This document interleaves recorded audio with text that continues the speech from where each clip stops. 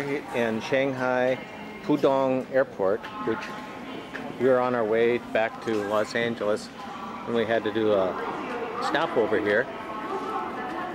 And I'm glad that we did because we had a chance to see this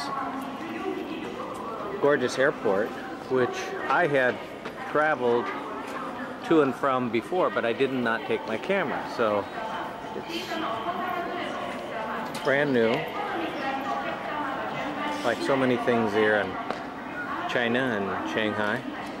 Well, Well, we're tell us actually just now leaving, so we'll be there in about 13 more hours. something like that. Yeah. Well, that's if good we don't kill each other first. this is the last. this is the last roll of film, and uh, I've got 80 minutes left on the battery.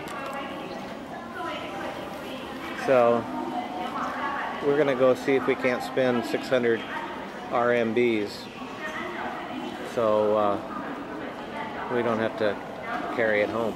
Ooh, Chinese porcelain.